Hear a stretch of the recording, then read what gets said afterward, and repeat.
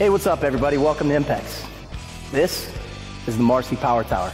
And I'll tell you what, it may look like one piece of equipment, but we can do a ton of stuff on it. So let's jump into it and see what we can create.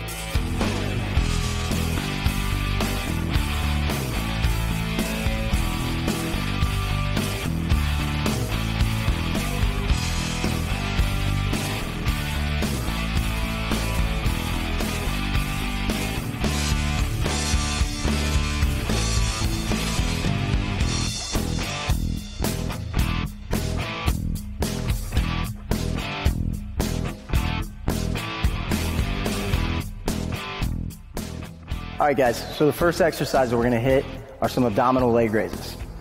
So we're gonna hop up into the Roman chair. We're gonna keep our core nice and tight. We're gonna roll our knees to our shoulders. Try to suck the belly button in towards the spine the whole time. So I would do that exercise around two to three sets, 12 to 15 repetitions with about a 60 to 90 second rest.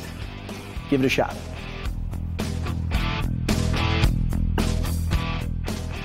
All right, guys, so the next exercise we're gonna hit are tricep dips.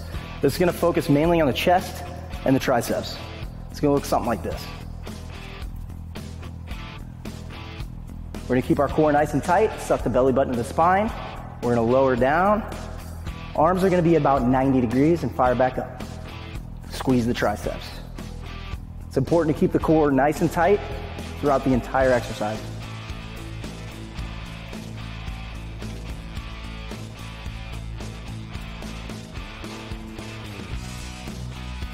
So, I would hit your tricep dips anywhere between three to four sets, 12 to 15 repetitions, about a 90 second rest.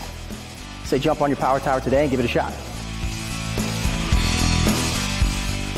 All right, guys, so the great thing about the Marcy Power Tower is it gives you two options as far as pull-up grips. So we can do the standard wide, or we can come in and do supinated close. We're gonna start with the wide grip, and then we're gonna change up and go into the close grip. It's gonna look something like this. It's important to keep your core nice and tight, as always in any exercise we do squeezing those scapulas together. Then going into the close grip.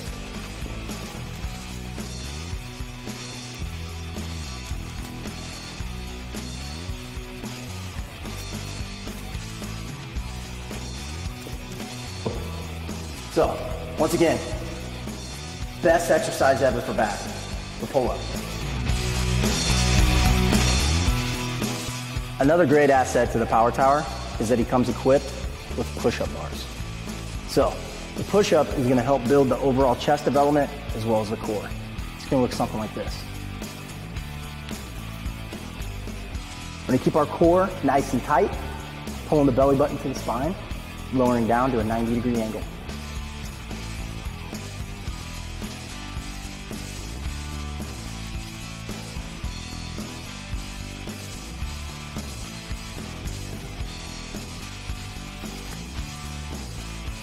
I would suggest anywhere between three to four sets.